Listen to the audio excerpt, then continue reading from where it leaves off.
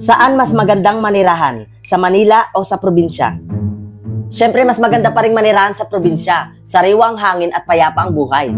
Mas maganda pa rin manirahan dito sa Manila kasi dito pwede ka maghanap buhay. Eh sa probinsya, ang hirap-hirap ng buhay. Mahirap talaga ang buhay dito lalo na kung tamad ka. Pero kung masipag ka, hindi ka magugutom. Ah, basta mas masarap pa rin dito. Eh di ba yung mga taga ibang probinsya nakikipagsapalaran pa dito sa Manila?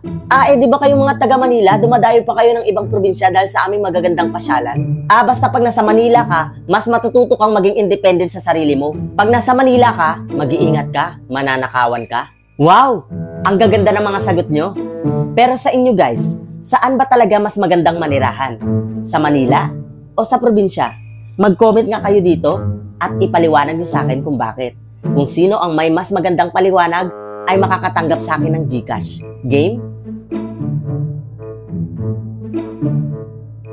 24 years old pa lang ako, pero kumikita na ako ng 10k to 50k monthly. Hindi sa pagmamayabang ha, pero gusto ko lang kayong i-motivate para habang bata kayo, kumikita na rin kayo. Ang gagawin nyo lang naman dito ay magla-live lang kayo ng 1 hour everyday. Promise ko sa'yo, hindi mo kailangan ng viewers at gifter dito para kumita. Pero ito guys ha, hindi naman masamang sumubok. Sabi nga nila, paano mo malalaman kung hindi mo susubukan? Ang sure lang naman nakikitain mo dito ay 10k to 50k monthly. Huwag kang mag-alala dahil wala kang ilalabas na pera dito kahit piso. Kaya kung interesado ka rin, ituturo ko sa'yo kung paano.